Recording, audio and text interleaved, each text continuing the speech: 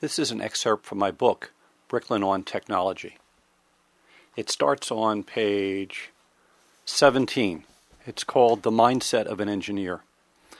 To understand the writings in this book, it helps to understand the mindset of the engineer, innovator, and entrepreneur. Part of that mindset comes from what motivates me.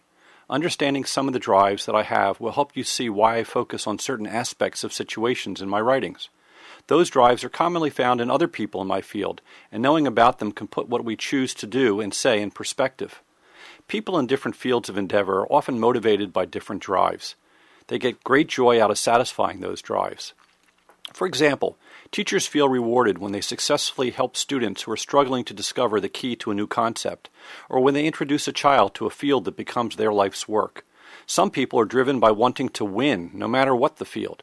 Others are driven by wanting to help others who are in need, in pain or suffering. Yet others are driven by wanting to express themselves in some medium, such as paint or song, and bring new beauty and understanding into the world. Let's take a look at the drives that motivate an engineer. One drive is the drive to build things, especially things that others will use. Engineers love to take components and put them together to create a greater whole. We build the world. Engineers love to have their, world, their work actually used. There is beauty in something well designed, but there is also beauty in something that actually enhances someone else's life. Part of good design is solving the problems inherent in what existed before and thereby improving upon it. This talk of love, beauty, and building the world brings up a spiritual side of being an engineer. Here is an old parable that, as an engineer, always brings a smile to my face. It comes from the prayer book created by members of Congregation Beth El of the Sudbury River Valley and is read by many of the congregants every Friday night at the time when they are celebrating the beginning of the Sabbath and the remembering of the end of the last day of creation. It is based upon something found in a book of parables and commentaries from over 1500 years ago. When the world was created, God made everything a little bit incomplete. Rather than making bread grow out of the earth, God made wheat grow so that we might bake it into bread. Rather than making the earth of bricks, God made it of clay, so that we might bake the clay into bricks. Why? So that we might become partners in completing the work of creation.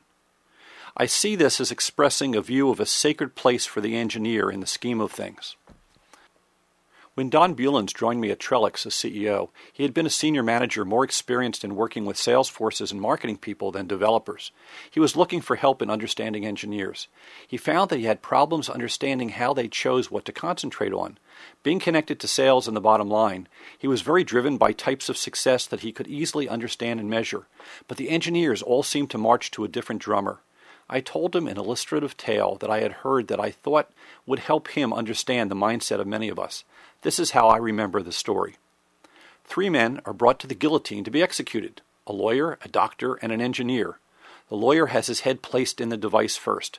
The executioner pulls the lever and the blade comes screaming down. Miraculously, the blade screeches to a halt just inches above his neck.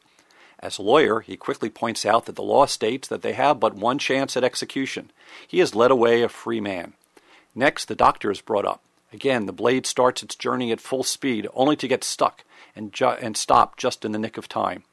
Having observed what happened with the lawyer, he demands that he too be freed, and he is. Finally, it is the engineer's turn.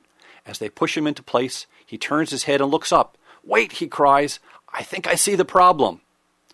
The apparent absurdity of this story of being so much the engineer trying to understand and fix the problem of the minute, even to your own detriment, really worked for Don.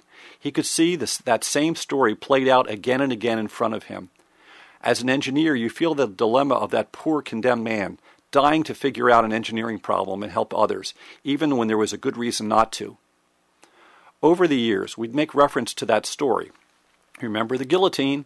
It continued to be helpful to remind us of some of the motivations of engineers and the need to make sure that they understand the corporate problems, like meeting particular needs of customers, that might not be as obvious for them to consider. For more information about the book, go to my website, www.bricklin.com.